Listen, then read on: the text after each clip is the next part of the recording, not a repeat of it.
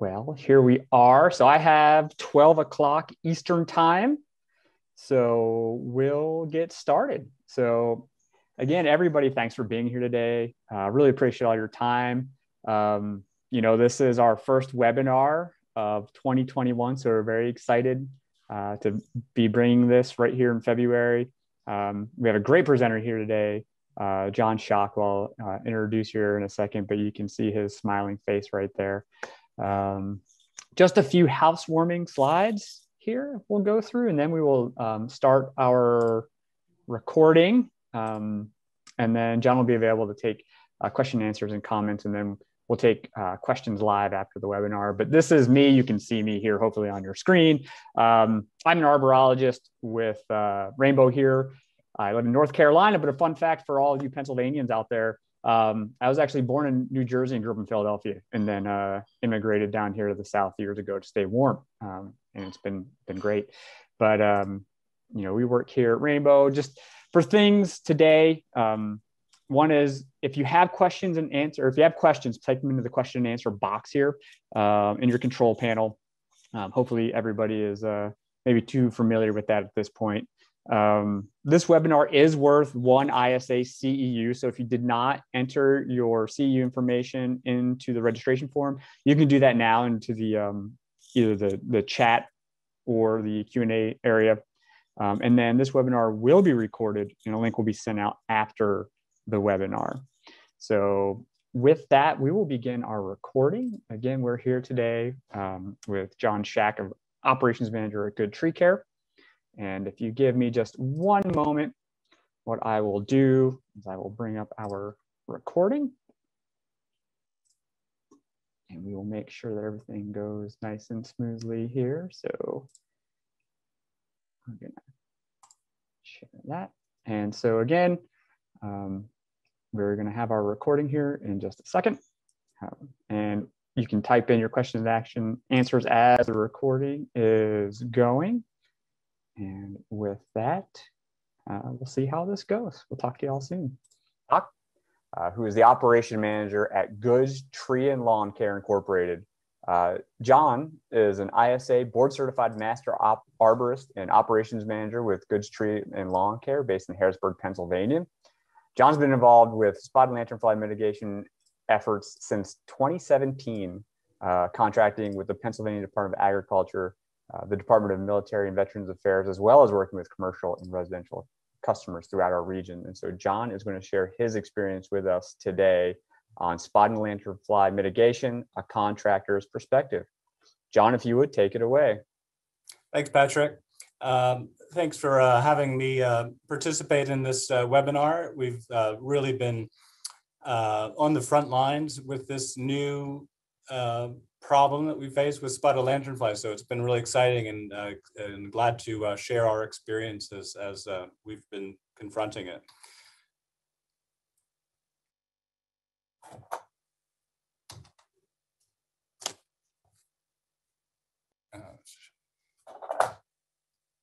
There we go. Uh, so as Patrick said, I've been in the uh, in arboriculture for uh, over 25 years and uh, currently serving as an operations manager at Good's Tree Lawn Care. Uh, I was in sales for over 10 years before that, and as a production arborist uh, before that. Our company, Good's Tree Lawn Care, based in uh, South Central Pennsylvania. Bob Good started the company back in uh, 95, and in um, 2004, we became accredited with the with Tree Care Industry Association and have maintained that accreditation since. We have uh, three primary divisions. Uh, we have plant health care uh, and as well as um, general tree care, we call uh, pruning and removal services. And in the last several years, we uh, opened up a turf division. So we had been Good's Tree Care for a number of years, and now we are, of course, Good's Tree and Lawn Care having all three of these services has allowed us, put us in a perfect opportunity to, to uh, become available as a contractor for this new threat we face in the spotted lanternfly. Uh, and we'll see that as, as uh, the presentation unfolds. Uh, so the spotted lanternfly, many of you probably uh, in, in other areas of the country have probably heard heard about it, but it's it's definitely still more of a regional uh, concern. Uh, the spotted lanternfly is, uh, of course, an invasive exotic insect. It's a it's a leafhopper. Um, very very interesting looking uh, in all three phases of its uh, um, life cycle. So on the left we have the, the, one of the earlier instars, black with white spots. And then in the center, you can see it a little bit there. It's, it becomes a little larger with red, with the modeling of black and white spots. And then of course on the, the right is uh, the, the, uh, the, adult form uh, and a rather large insect pest. In 2014, uh, this pest was imported into the country uh, on uh,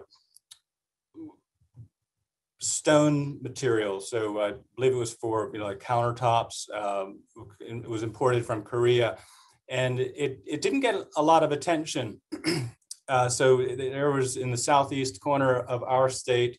Uh, in Berks County, we are over in Harrisburg, so this is uh, you know less than 100 miles away, and it was sort of uh, one of those things uh, that uh, I would I would hear about. So I have a good relationship with our uh, Penn State Extension agent. Uh, and I encourage everybody else who has the opportunity to live in a state with a land grant uh, university system that has a um, an extension, an agricultural extension service. I think it's a great opportunity to uh, stay current with things that are going on and uh, to get help on um, uh, how, how treatments can be be um, resolved for, for different pests and disease issues.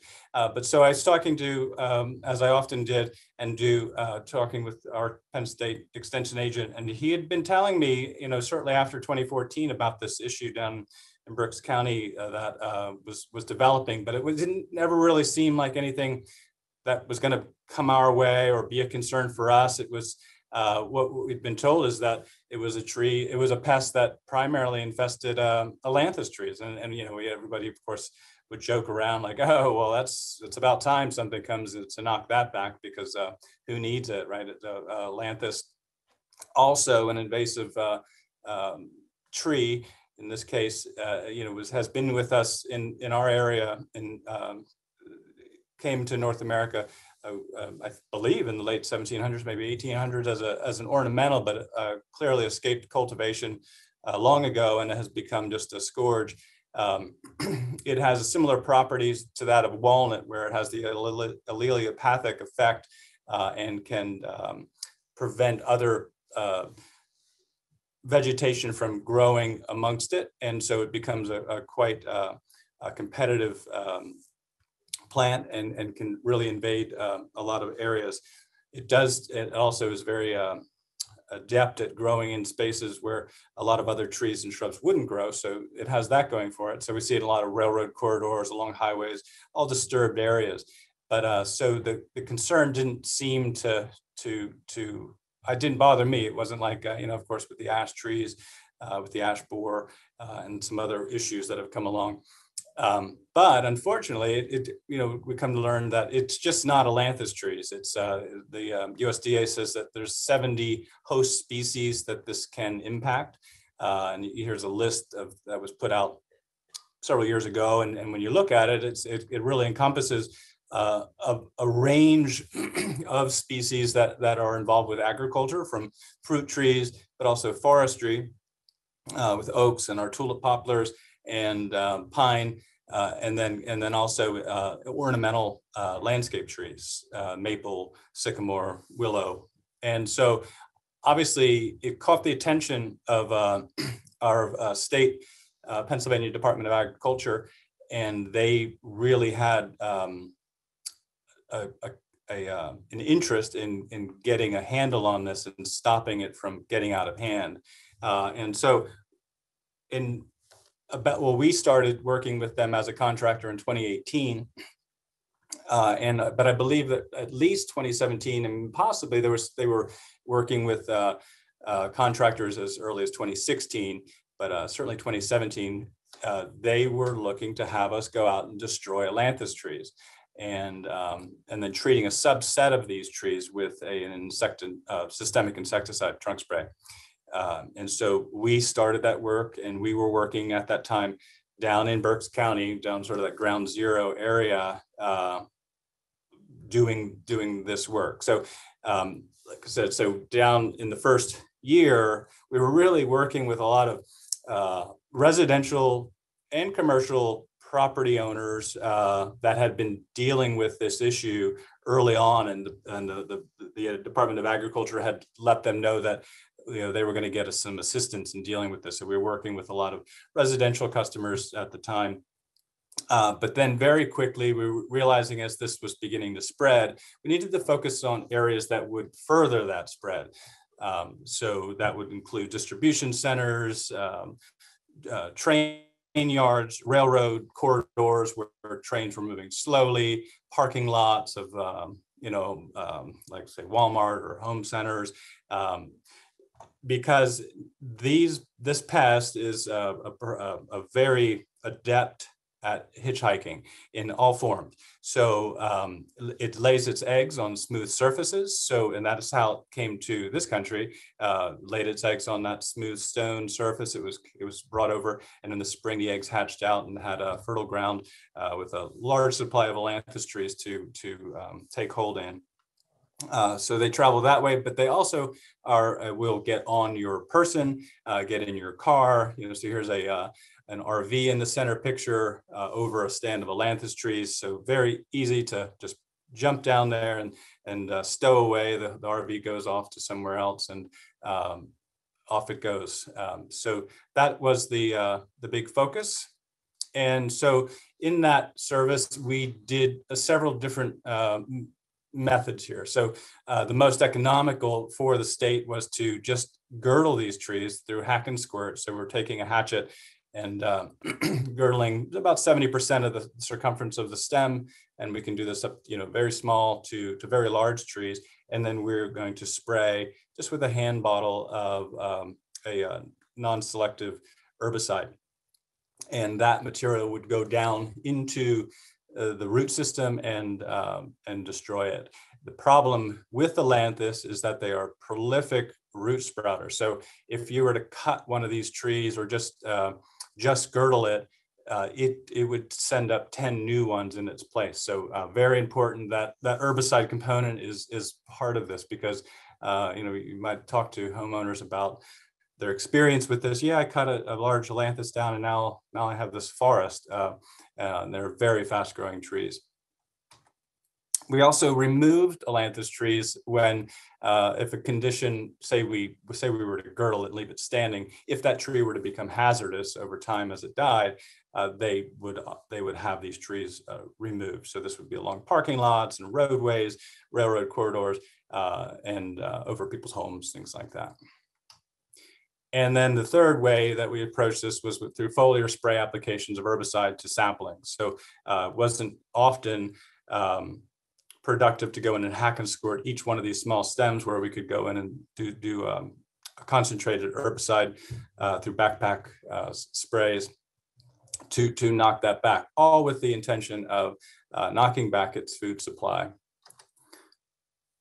As I said, the other part of this was treating a subset. So on any property, say it could have a thousand ailanthus trees, we would then, uh, the, the, state would mark uh, with red tape or red paint a uh, several trees in, in strategic areas that would be we would treat with uh, uh, Rainbow's Transtect trunk spray application, and um, and that would then we would concentrate the feeding on these these few remaining trees, and then uh, the goal would be to kill uh, spotted lanternfly, and it was it has worked really well. Um, needless to say, uh, just because a tree is treated doesn't mean they're going to stop coming. And so these these trap trees, over a matter of a couple of years, uh, became quite stressed from all of the feeding, the concentrated feeding, uh, and we would see that these trap trees would would expire after a couple of years. Uh, ambrosia beetles uh, were pretty common to to come in and uh, and finish these trees off, but it certainly did serve the purpose of killing bugs, and that was the goal. And so in this three-year period that we've been doing this work with PDA, uh, we've we've we've killed a lot of ailanthus trees, as you can see there, probably over 35,000 trees uh, hacked and squirted. We've removed another 1,800 uh, physically, they're uh, just leaving the brush or, or chipping it up. And uh, we've applied herbicide over many acres of ground and probably treated about 3,000 trap trees. The last couple years, we've really focused our attention on, uh, in our area in Harrisburg, there's a railroad corridor, and so a lot of slow moving trains and a lot of ailanthus trees. So um, the goal was to really stop, prevent those the spotted lanternfly from getting onto uh, those trees that could then uh, move right onto the railroad cars. And so that here's a map of 2020 uh, from August that shows the current uh, state of affairs in Pennsylvania. Uh, the tan area in the southeast was sort of the earlier uh, quarantine area as of 2019. So you can see the spread, you know, continued to, to work outward. And then in 2020, uh, it sort of has continued to, to move to the west. There's uh, new infestations or newer infestations in the Pittsburgh area, in the western part of the state. Uh, and uh, you can see that this isn't just staying in the state of Pennsylvania, it's moved uh, to New Jersey, Delaware, Maryland, uh, Virginia, West Virginia. And this, this map is from uh, the state of New York, and you can see, uh, or maybe you can see the, the red dots in the those areas of New York where uh, pests were found, but infestations didn't take hold. So just because one adult lanternfly um, travels, you know, jumps in a car and, and heads north, uh, doesn't necessarily mean that an infestation will take hold. If it's a gravid female, uh, one with eggs, that would be, you know, so it's sort of cer- certain circumstances that are going to to uh, make that happen. And of course, we had the the fortune, call it good fortune, call it what you may, uh, to be sort of in the center of this uh, problem. And it's been a, a, real opportunity for us, uh, first working as a, a, contractor for the state, which has been a, a very uh, good service for us. And uh, but now we are also having to to look uh, at helping our, our, our regular customers in our region uh, deal with this problem. One thing that we've just recently found out is that uh, research was done by Penn State that is showing that uh, the it was always understood or there was a, a good understanding that the lanternfly had to get to the ailanthus tree and feed on it at some point in its life cycle to be able to complete its uh, life cycle and, and to to to to reproduce. Uh, they this study has just shown that that's not necessarily the case, uh, although it's preferred. They tend to do better and uh, develop quicker with feeding on ailanthus. They don't need it, and so I think because of that, we're going to be seeing a shift in uh, uh, treatment protocols from the state. I don't represent the state, but I, my understanding is that probably they'll be shifting their focus and doing less uh, dis- destruction of ailanthus trees and focusing more on the pests. So less herbicide, more insecticide. Uh, so taking advantage of opportunities. Uh, we've since that since we started working for PDA, we also did work with the, uh, and we continue to do work with the Department of Military and Veteran Affairs uh, we work, we go, uh, there's a big National Guard base at uh, Indiantown Gap and uh, just above the Harrisburg area. Uh, so we've done a lot of work there and as well as their armories throughout the state. Obviously, uh, the National Guard has a, a lot of land and they have a lot of equipment that has the potential to move great distances. So they um, the, the federal government uh, and, and the state have coordinated to, you know, that's a priority so that they would not um, be spreading the spotted lanternfly. Other opportunities that we've seen, some we've taken advantage of, some we haven't. Conservation districts have put out bid proposals uh, for contractors as well as state parks. Uh, we've done work on corporate campuses. Come late season, these infestations become quite noticeable.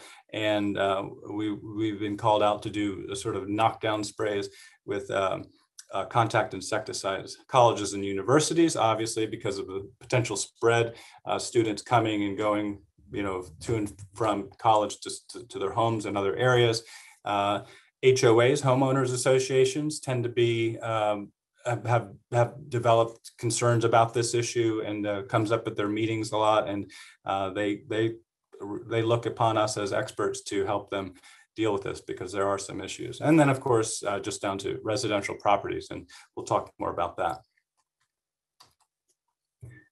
Uh, like other world travelers and uh, serial killers, right? Invasive insect pests have personalities, and uh, it's important to, to. I've thought a lot about how how you know, we always think, you know, the the other one we've dealt with not you know, most recently is emerald ash borer, and many of you have uh, also experienced that. Um, and the interesting, you know, when we when we compare the two, you know, so the emerald ash borer really traveled and travels incognito. It, it didn't really, uh, very rarely would anybody even see it, right? And so, um, and very rarely did we actually know it was moved into our area before trees started showing up dead. So here's a picture uh, Rainbow uh, often has shown us uh, where a, a, tree line street of ash trees, uh, you know, a few years later uh, are dead, and everybody's like, "Wow, what what was that?" You know, uh, it wasn't like you saw a thousand spotted lanternfly adults flying around. You know, very rarely do you see any.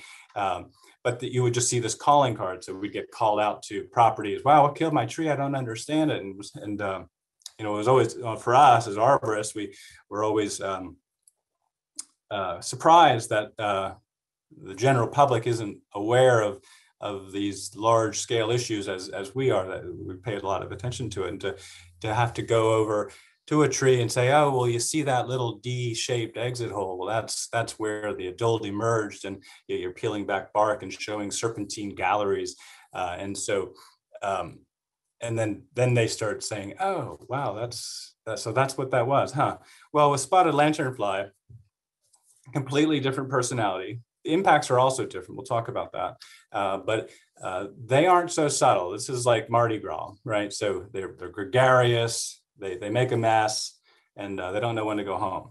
Um, so you know, one of the things they're um, they're phloem feeders, so they they they pierce thin bark and and suck out plant sugars.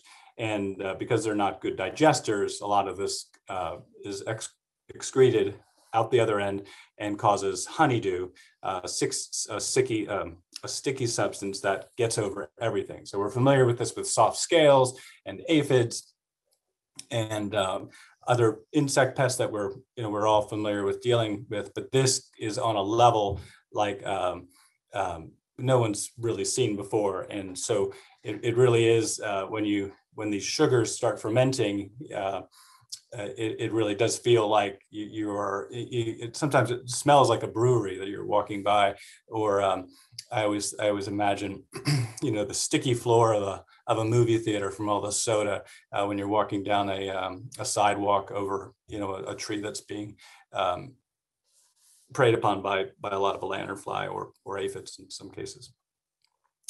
So um, and and this goes on from july sort of when the adults emerge from the earlier instars through September. You know, this year it was uh, well into October that we were continuing to confront these these populations. And because of that, you know, unlike lanternfly, this has become in our area a big deal. Everyone talks about it. Everyone, I, my dad actually lives down in near the ground zero area of Berks County, and uh, when we talk on the phone, it was always the first thing was about sort of the, the kill count. Yeah, my you know, uh, mom and I were out there and we killed, uh, we must have killed 400 lanternfly today. We've gone, or we've gone through, you know, three uh, fly swatters to this point. So it really creates an opportunity to work with the public uh, and engage with them and allow them to and, and, help them understand and, and work through this because it, it's uh, it's become quite a um, uh, a process and like I said, it's uh, it's it's still regional. It's still mostly for us, but uh, it, it's good chance that you know this will continue to spread into other areas. So we want to consider factors for determining the appropriate uh, management strategies. This is a cool shot because it, it's a moment where we have uh, the two earlier instars, the black form and the red form, as well as the adult. You could see an adult there in the center. So this would have been sometime probably mid to late July uh, when you had that transitioning happening. Uh, so what we need to realize, uh, though, again, and we can always compare it to emerald ash borer, this is not a one solution type of problem. Uh, ash trees, we, we, have just had great uh, uh, products that, you know, really just um, you could practically guarantee it. The success rate has been so high, and uh, and the um, you know we come in. Oh, you have an ash tree. Well, we're going to treat that, and, and, we have a great solution for that. We'll be back in two or maybe three years. And we'll do it again, and without problem, you you go back and the tree's fine. You you continue to treat it. It's been a great great opportunity for arborists. Uh, with lanternfly, we we can offer solutions, um, but they're still going to keep coming. Um, a solution isn't the eradication of this pest, and and and early on in this, um, I struggled as a sales arborist to uh, get get to the sale. Right, it was so easy to to devolve into feeling like an extension agent, and I'd go out on properties and I'd tell all about the problem. Sometimes we spend up to an hour just talking about, well, we can do this or we can do that, and but it's not actually going to do what you might think it's going to do. And it's probably you know, and things like, well, what about my, my if my neighbor doesn't treat his tree, how is that going to impact me? Or, you know, why should I do anything? And and then you'd get to this point where you would feel paralyzed to even make any difference and you you would have spent you know as a as a you know, an arborist you're, you're you're working and that that hour was great for educating somebody else uh, but but it wasn't it wasn't making the sale and it wasn't um, doing anything to solve this problem or work towards solving it so i think my recommendation is as as uh, you as uh, commercial arborists confront it to set the expectations, but move quickly into, hey, and this is how we can help you, um, and and and stick with it. Or if you don't see that there is a solution, you know, let them know that quickly and move on. Maybe leave them some literature from from a university or something. So factors to consider. And so, so you're going out to a property. Um, do they have ailanthus trees on their property? So now we we have an understanding that maybe uh, you know, Ailanthus isn't the, the, the complete ticket here. Uh, that even without Ailanthus, spotted lanternfly will continue to be a problem.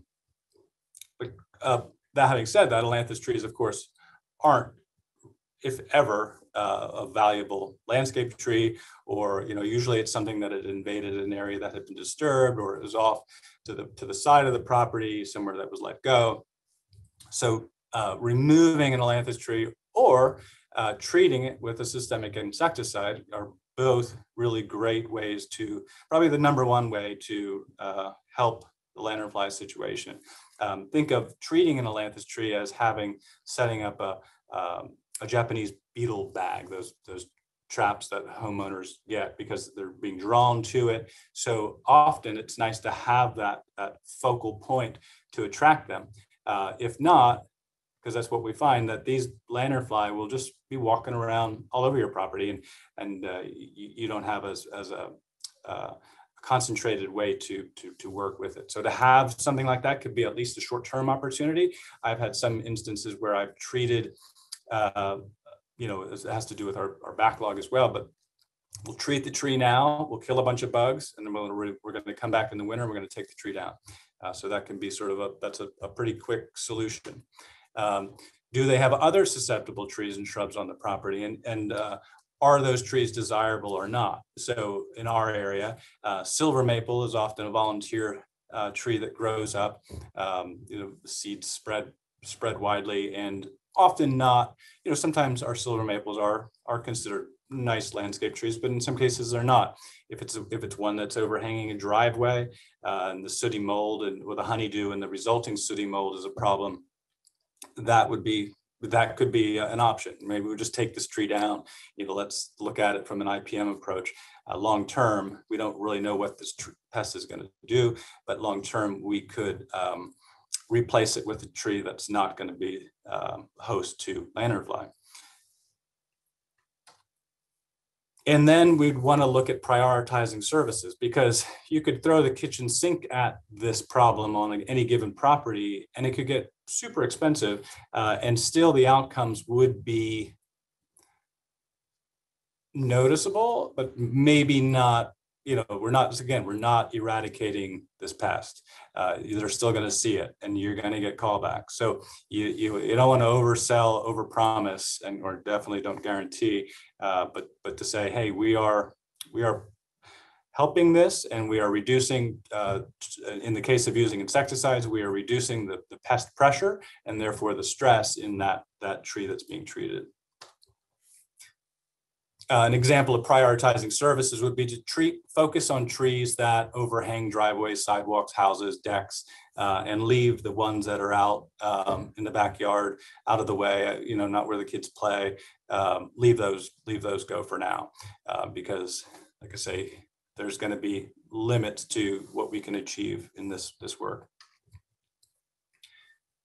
it brings us to the idea that there's a because of this this is such an obvious problem uh, homeowners and uh, non-arborists are going out there and doing everything they can everything they find uh, to attack it.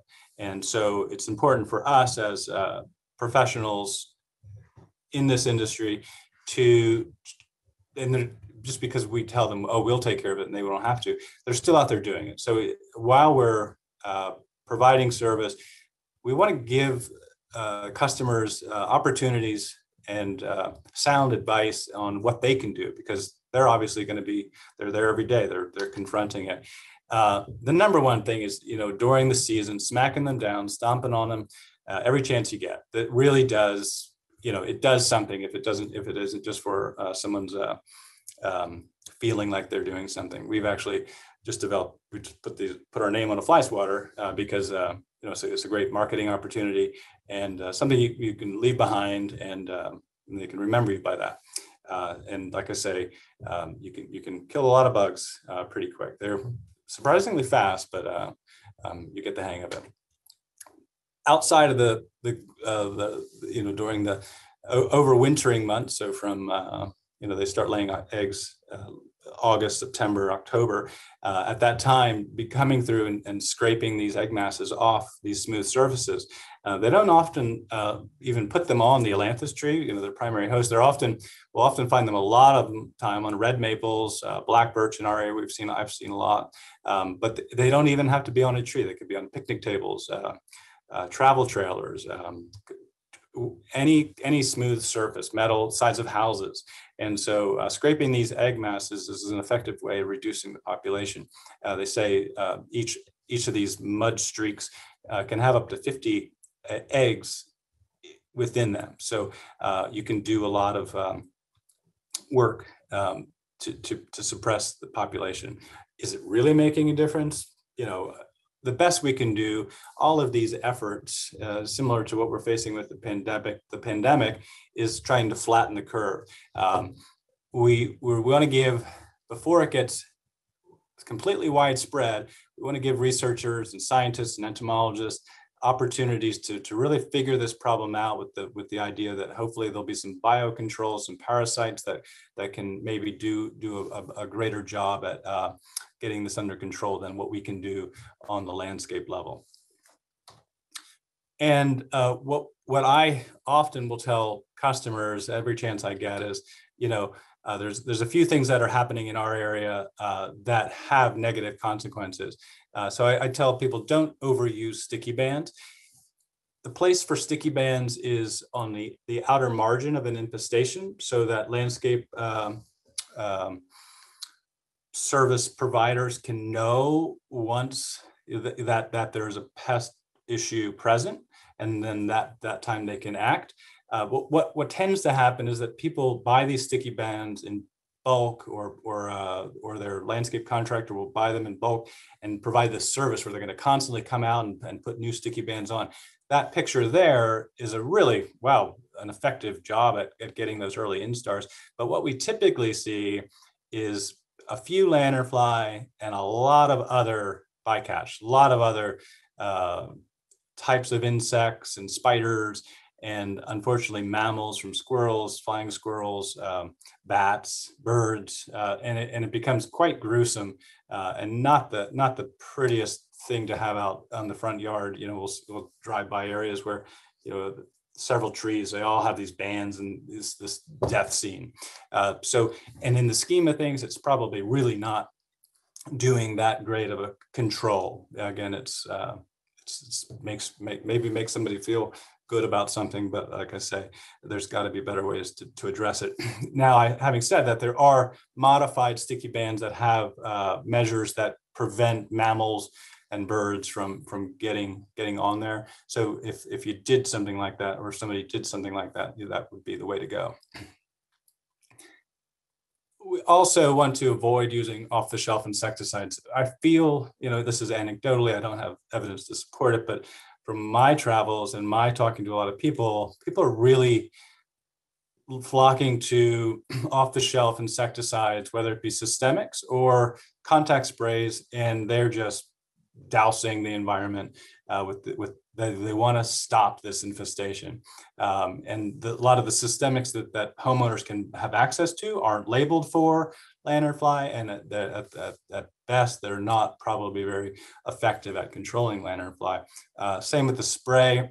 If someone's going to spray something like Sevin uh, they really need to have a good handle on the label uh, and and how it's used, how often it should be used, what's the concentration, uh, things like that. Because you hear these stories about, well, I sprayed it with Sevin, and the thing just kept walking. So I sprayed it again, and I sprayed it again. You know, so they're like unloading a tank on you know several lanternfly, and obviously it takes a little bit of time for for a, a, a, um, a big bug like that to to die. So um, we're just using too much insecticide. So those are those are recommendations that I I, I give every chance I, I can get.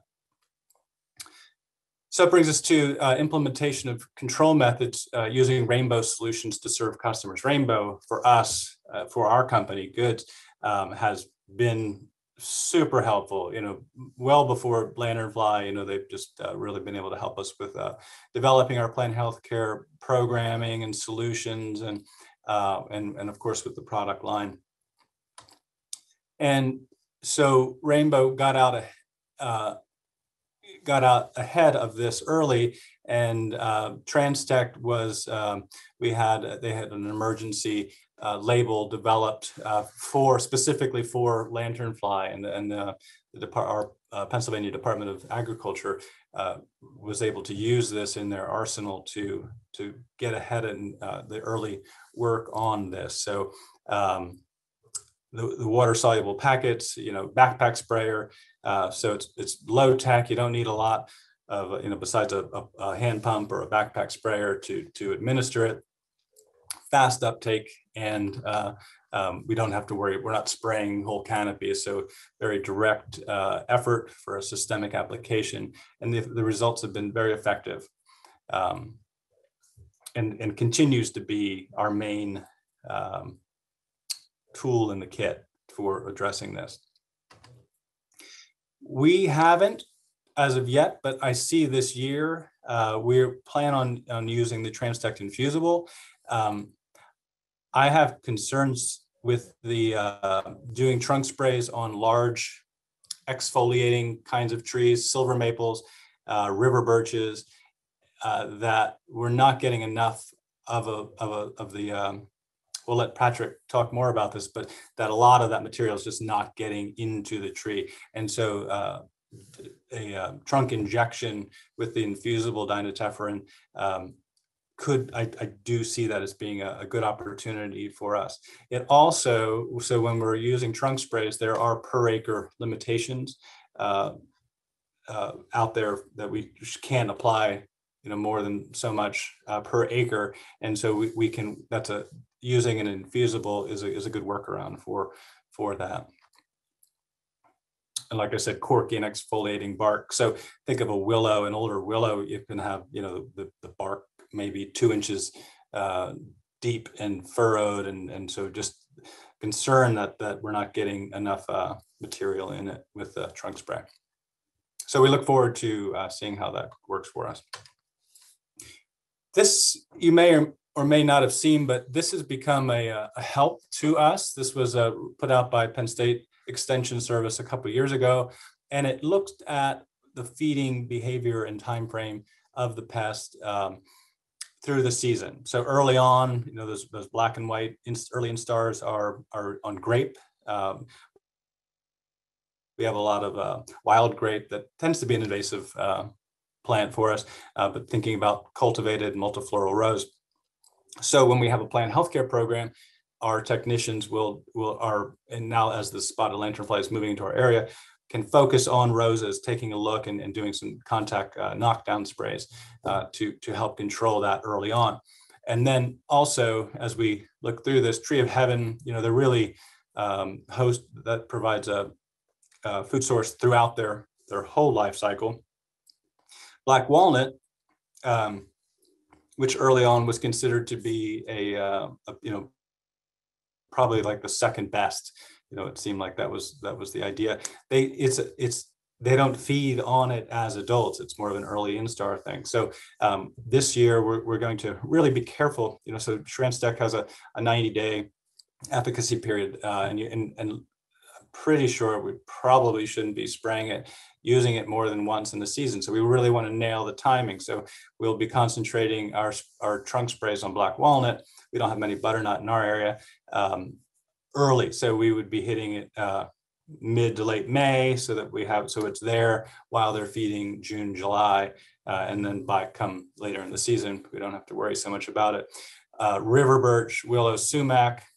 I don't intend to treat any sumac, but there are some nice uh, cultivars of sumac sort of a, in the landscape, more of a, a low level ground cover plant that uh, I haven't quite, I haven't seen that be a problem, but if, if it were, you know, I would imagine doing a, just a contact break, you know, it's something to put in our scouting routine.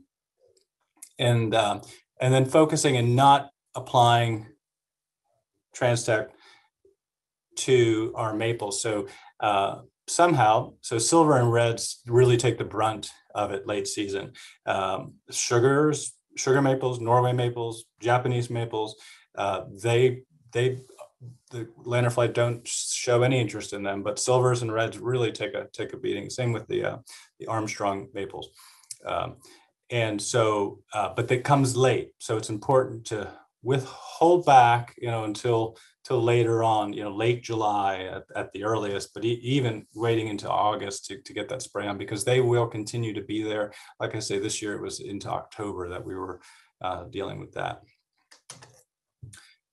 Pitfalls to avoid when adding this service to your platform. Um, we've we've encountered a few of them, and so I just want to share some of that experience with you here.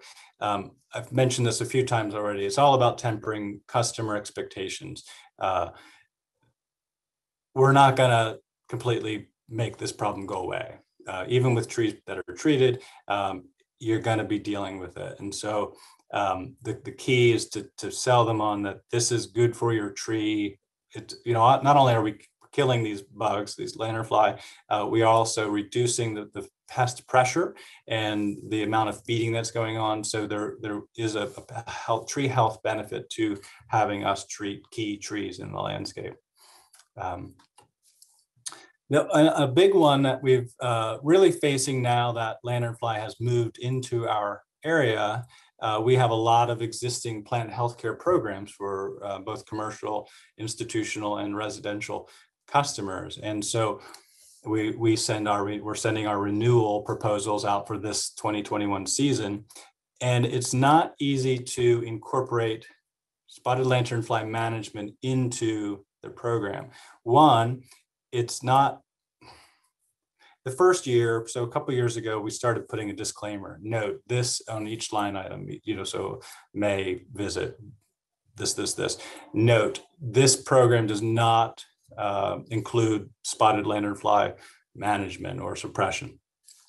Well, that sort of gave us a, there was a lot of pushback on that. Uh, well, why not? That's what I have you hired for, and um, it makes sense. So this year now we are uh, doing a, our our um,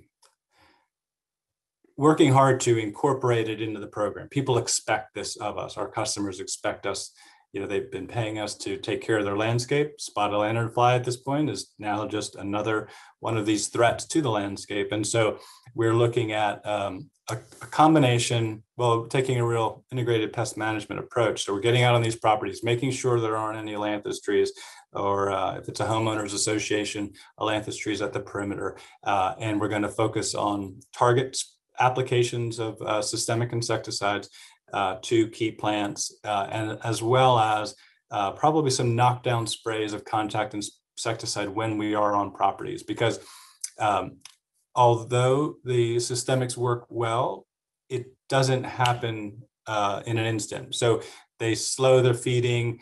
It's as if they become drunk on the, the pesticide and they just sort of hang out. And they and so people are you know, they question, well, I don't know that it's working well. If, if you could see it the other way, if, if you weren't doing anything, you would see a difference. Uh, and then over time, they, uh, and that image on that uh, um, spring, they, they tend to flare their wings out and that's sort of their final gasp. And then often they'll either just stay clung to the tree or they'll fall off. But having a, uh, an extra dose uh, of a contact spray, you know, very selective, uh, just focusing right on the pest uh, can be helpful. So August, September, and in uh, October um, can be helpful just to get a little bit more control and, and reduce those numbers because they are mating. So by killing uh, gravid female or, or when they're in the process of mating, we are going to reduce the, the number of eggs that are going to be um, laid everywhere during that time and forecasting the future of the pest. This this one has also been a pitfall. I have um, I have a customer and big weeping willow in the back of the property, important tree for them, right? And so I said, well, we're going to want to treat that tree. This this was last year with a systemic insecticide, Transtect, uh, to suppress this pest. And you know, obviously, there's a an additional cost. It's not just their plant health care program. Now we're doing this target application, and so uh, I go out uh, this last summer, it was July, it was August, and no lantern fly in sight. And the questions start coming, well, I spent all this money on this treatment and it doesn't seem like they're not even bothering it. Well, so I just say this as a cautionary tale that we don't always know because of its, its uh, invasive nature. It's not it's not normalized. It doesn't have these behaviors we can expect to see like many of our other pests like a Japanese beetle or a bagworm, it it it still has some fluidity to it, and so um, that's where we want to be careful when we're uh, proposing work with the expectation of it being there that um, that we're pretty certain of that, or or or use language that uh, allows uh, you know negotiation as that time comes. Uh, otherwise, it can leave uh, customers feeling like uh, we didn't know what we were doing. Another thing, uh, so I mentioned my dad lives down near Ground Zero there, and he had uh, three years of really bad lanternfly uh, infestations, and then this would have been two years ago, nothing, hardly a, a bug on his property, and so it just we're everybody the you know the researchers are, are still trying to figure this out uh, certainly and then this last year they were back. So uh, it's it's not an easy one to to manage from that perspective. Uh, and a final word on that is um, not so much in plant healthcare of residential and commercial properties, but thinking about spotted lanternfly contracting work for entities like the USDA, or in our case, the Pennsylvania Department of Agriculture, or other um, entities that are uh, responsible for large areas. The railroad would be another um, example. When you think about where Ailanthus grows, it's it's never it tends to be one of the worst places, right? You know, it's along the railroad tracks. It's it's a, it's next to a dump, or um, you know, it could be a whatever that is, a landfill. You know, there's poison ivy there. There's snakes. There's ticks. It's just and it's thick, it's full, there's briars, there's thickets. And it's not work for the faint of heart.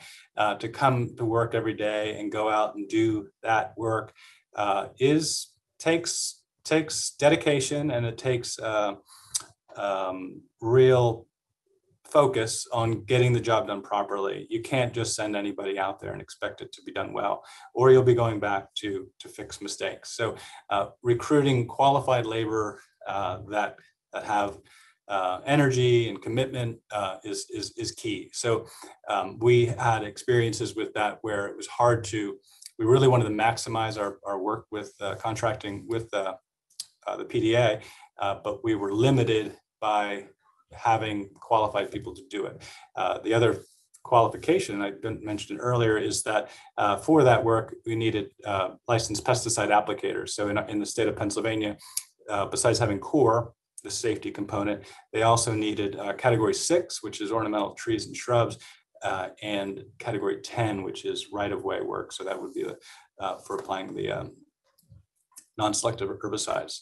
Um, so all of that really, you know, when you're thinking about if if taking on this type of work uh, is is uh, something you're looking to do, getting out ahead of that and really setting the, the, the framework because once you you have these contracts, you have a commitment to act, and you want to make sure that you're ready to ready to roll right away to to get you the the best um, foot forward. And I'll just leave you with a quick case study. Uh, you know, this is this is a pretty typical situation for us, where in our area we have a lot of uh, newer developments, and obviously red maple is uh, tends to be a, one of the most common uh, trees being grown uh, in the landscape. So here's you know there's a couple hundred homes, and they all have a red maple in front of their house.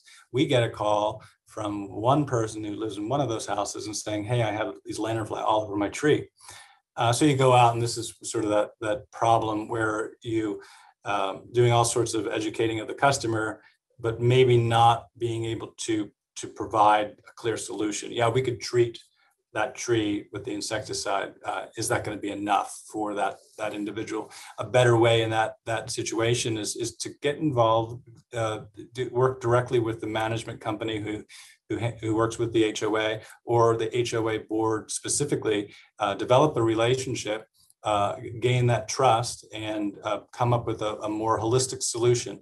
Uh, on this image, you can see on the bottom, there's some some um, um, naturalized lands, probably a good chance that there's invasive Ailanthus grapevine, other uh, host species that could be a reservoir for lanternfly other than the landscape trees on these people's property. So working from that angle as well as in the landscape on the people's property is, is definitely something to consider. Uh, we're really looking forward to uh, expanding our service with the uh, Transtect infusible because of, uh, you know, it's just, it wouldn't be realistic, yet alone legal to, to spray all of those trees with um, a trunk spray.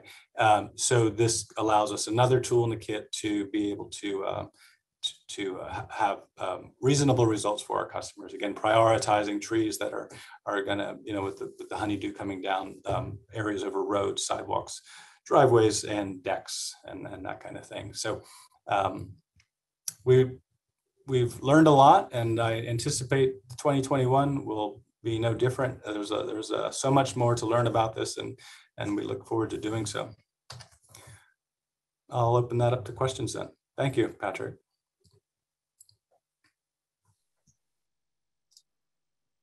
We are joined today with Jon Schach. Oh, uh, excuse uh, me, everybody. There we go. Well, that was great. Um, that was phenomenal.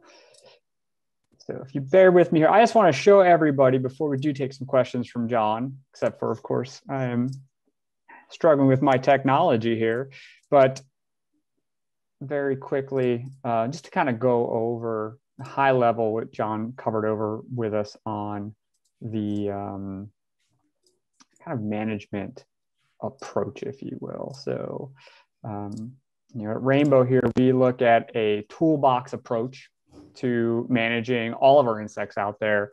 And so, you know, John covered over on this, you know, talking about the time of year, the the instar or the adult, uh, and then the plants that they uh, cover over on. So we have several options here. Um, you know, for these early instars on these plants that are really sensitive, um, or not very sensitive, for your clients that are sensitive, you know, these contact sprays, um, right now by bifenthrin is probably about the best choice. Um, but then as we get into the more woody plants, looking at um, Transtect, which is dinotefuran, as a systemic option. And then John touched on it, and we won't spend too much time here because I want to make sure we get questions. But we also have our trunk injected product, Transtect Infusible, which is also dinotefuran.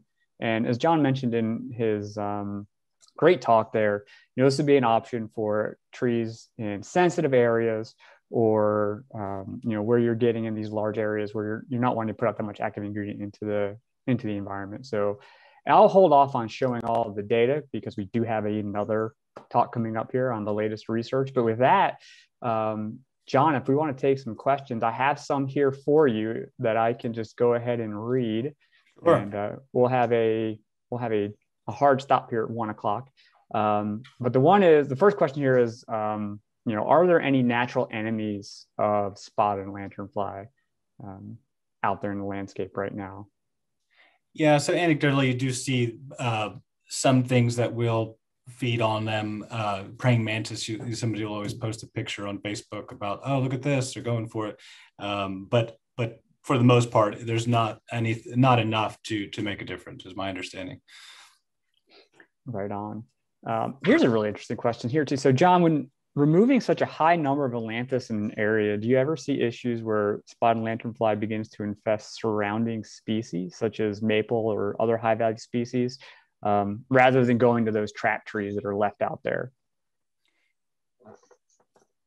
Right. So it could be a concern that if you're if you're depleting a food source in a specific area where they are, that you are forcing them to move move on and and out uh, and also into other in people's landscapes into more preferred trees.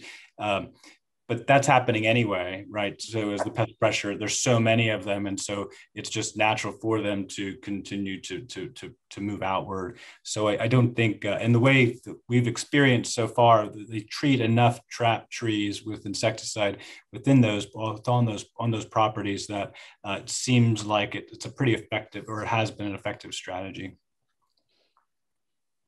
Excellent, thanks. Uh, there's a question here, and you may have mentioned this in the presentation, and even I may have missed it, but um, are they considered strong flyers? Do they move far, the adults? Uh, you, you, see um, both sides. People say that they're not strong flyers. Well, relative to what a, an eagle, right? Now, no, so they're not. They typically will hop. They they walk up the tree but they'll off you you will see them you, you could see them moving across you know a, a lawn uh, and, and in the in the end towards the end of the year and this is again i'm not a, a lanternfly researcher but uh, it seems that they really take almost like a, like a swarm where they'll they'll head up into and catch wind currents and, and move uh, longer distances is, is the way I've seen it uh, in uh, in our area, some of our natural areas, or and and and where I live. Um, I, there's no other good justification to see how they've gotten into some of these, you know, in the middle of a, you know, there, there was Ailanthus there, so it has been disturbed, but that there was, there's no good explanation other than that they had uh, flown considerable distances.